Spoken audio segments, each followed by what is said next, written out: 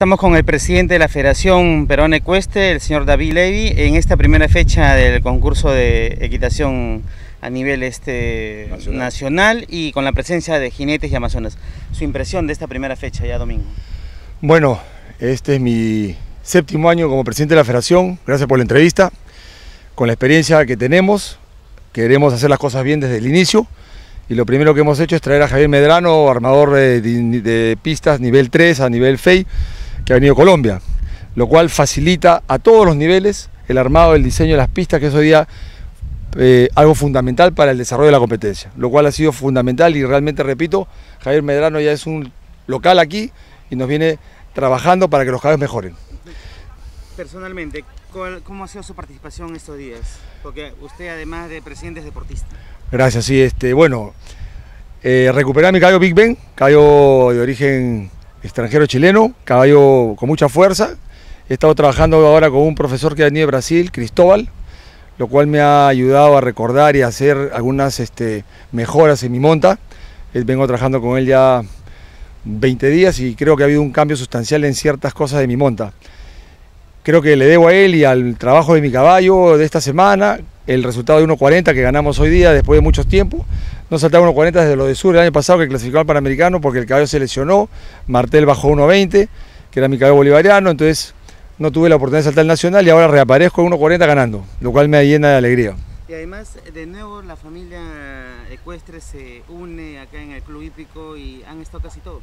Natalia Málaga inclusive. Natalia Málaga, claro, vuelve después de dos años, le presté a Martel justamente, Cayo Noble, y ayer ganó en cuarta, estaba muy contenta, estuvimos juntos después conversando y ella va a seguir viniendo de acuerdo a sus horarios y va a estar participando, le encantan los caballos, su, su pasión, su vole es el deporte de ella y hoy día es entrenadora de la selección juvenil, lo hace muy bien, somos muy amigos de toda la vida y ojalá que Natalia siga apoyándonos con su presencia acá y haciendo lo que más le gusta. ¿Cuáles son las expectativas de este año para el deporte ecuestre a nivel nacional e internacional también? Bueno, en julio 16 tenemos que estar con el equipo de salto en los Panamericanos de Toronto. Tarea difícil. Tenemos ya cuatro jinetes, cuatro jinetes clasificados, Alonso Valdés con Ferrero, Alessandra Batilana con Ordela Carbonier, que está en Chile, en México Jennifer Tick con Rafina Z, y en Venezuela un jinete que se ha nacionalizado peruano, Martín Gerí, un chico de 22 años con un muy buen caballo francés. Esos cuatro jinetes ya están habilitados. El 17 de mayo tenemos una, una prueba habilitante acá para Julián Duprat y Leane, que, que repete para mí, que va a ser unos 50, vienen delegados técnicos de la FEI y ahí terminaremos de, formar el equipo, ¿no? Creo que podemos hacer un buen equipo, terminar, eh, sería la segunda vez que Perú participe en un Panamericano, Guadalajara con equipo y ahora en Toronto.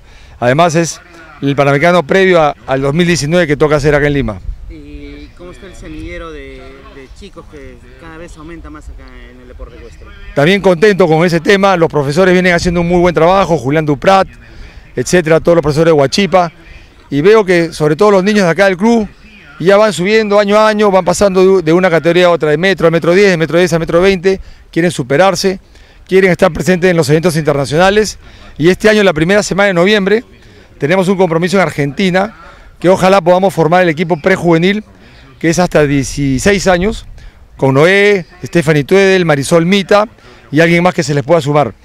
En Chile los chicos han subido ya a la categoría pre-junior, Está Solulando que es ya junior y esperemos que esta vez podamos tener unos tres o cuatro jinetes en la categoría pre-junior para hacer un equipo en Argentina, primera semana de noviembre. Están todos invitados. Se augura entonces un buen éxito en este año en la gestión del club y sobre todo de la federación y además el progreso de todos los chicos y los jinetes y amazonas peruanos.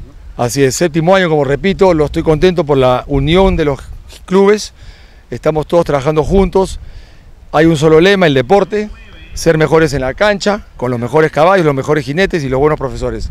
La directiva de los clubes están apoyando a la federación, lo cual es importante, y creo que a un año de terminar mi octavo, mi último año, el próximo año, creo que dejo un legado bastante importante para el quien quiera tomar la posta. Yo voy a estar muy atento a lo que venga y ya no apoyar también al que tome la posta de la federación el próximo año a fines de, de diciembre de 2016. La última noticia sería que por quizá Alonso Valdés, que está ahorita en Alemania y en Holanda y en, Wellington, vaya al Panamericano de Toronto bien preparado y pueda clasificar a la Olimpiada de Río. Esa sería la tarea del próximo año. Ese sería, un sería con, cierre con broche de oro para esta federación. Para finalizar, eh, ¿qué opinión tiene del programa ya de la entrega de subvenciones a las federaciones que ya ahora va a ser anual y no como antes era progresivo? Gran cosa, gran decisión de parte del ministro de Educación. Estuvimos reunidos con él en una concurrida reunión de todos los presidentes de federación. Estamos a la espera del abono y esperemos que todas las federaciones, incluida la nuestra, trabajemos de acuerdo a lo planificado y se destinen los dineros al deporte como corresponde para beneficio de todos. Muchas gracias.